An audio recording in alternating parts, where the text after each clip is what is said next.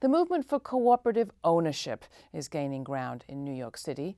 Producer Jonathan Klett brought us this report from Damayan. The word means to help each other. This is the Damayan Cleaning Cooperative.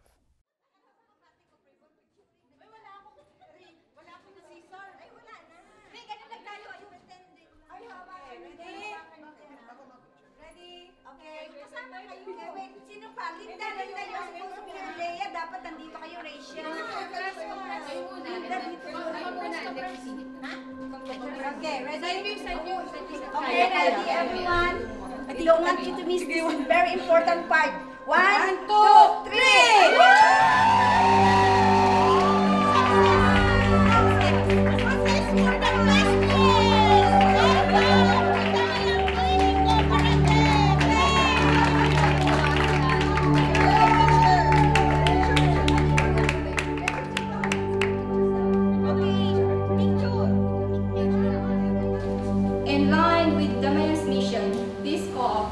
Created as more than a business. It was created as a new democratic space to organizing, for building worker leadership, for collectivizing workers, and for challenging capitalist exploitation. We are happy and proud to launch Damayan Cleaning, As you see, uh, most of the you know pioneering members of the co-op are members of the board of Damayan and leaders of Damayan and also trafficking survivors. We want to connect the cooperative work to the organizing work of Damayan. That's our goal. Because uh, economic power can lead to social justice. Right? So that's what we're trying to do. And let's make it work. We thought of the co-op as a way of helping our members, particularly the families of trafficking survivors, because they came here at the worst time, as we know. You know, there are no jobs for the older children.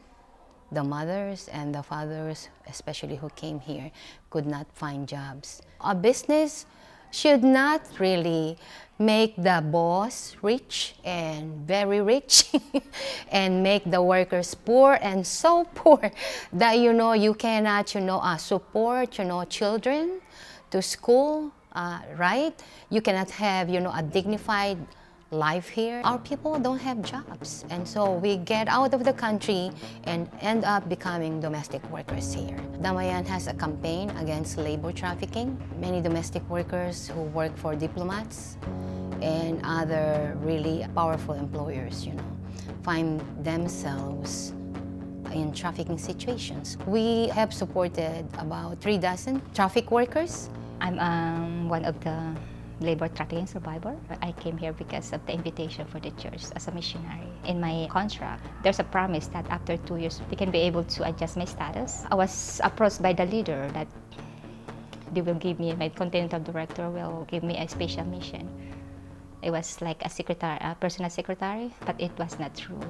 I was doing the domestic worker. I was with the young kids, three kids. That was through 24-hour job. I, I don't have salary. That was three years. 2003, I managed to escape too because they wanted me to go home. This family was taking advantage for me. I don't have anything. That's why I don't want to go back to Philippines because it's really hard there. I'm gonna start from the scratch and what kind of job I I'm gonna find in my country. So in short, so it was really hard. I'm very exploited. It was really very controlling. They took my passport as soon as I came to America. They took the pa my passport, my documents. When you work individually, especially if you're in the uh, domestic work industry, you're on your own. But if you have a co-op, you know, you're the boss. You set the wage rate, you set the work conditions. We thought that maybe we can make our own business. Right now, we have a small contract from one of our ally organizations, the Nature Conservancy.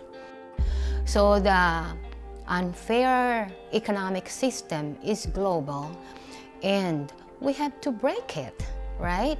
Breaking it, you know, will not end to helping individual workers retrieve stolen wages or helping an individual trafficking survivor get a trafficking visa and get her family over here.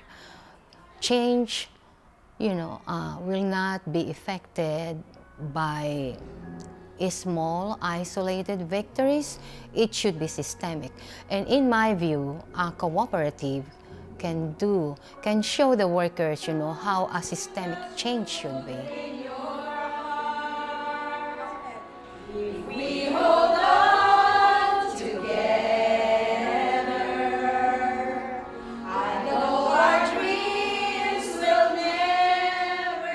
I think the co-op will bring us together, like because for what I experienced, that's my story, but the rest is different for me. But if you put them together, it's like, yeah, we needed a job. We want decent job. We want a fair wages. It's like we are putting together the power of the women, power of the workers. We need to effect change and who will be the real agents of change? I believe it will be the workers, the people who are directly affected will be, you know, the agents to change the system that are not really working for them. We have to do something. So this cooperative and the cooperative movement should show working people, you know, which way to go. If capitalism is not working, cooperatives should show that through collective work, good jobs, fair wages, dignity, and equal opportunities for all, you know, maybe it can happen, right?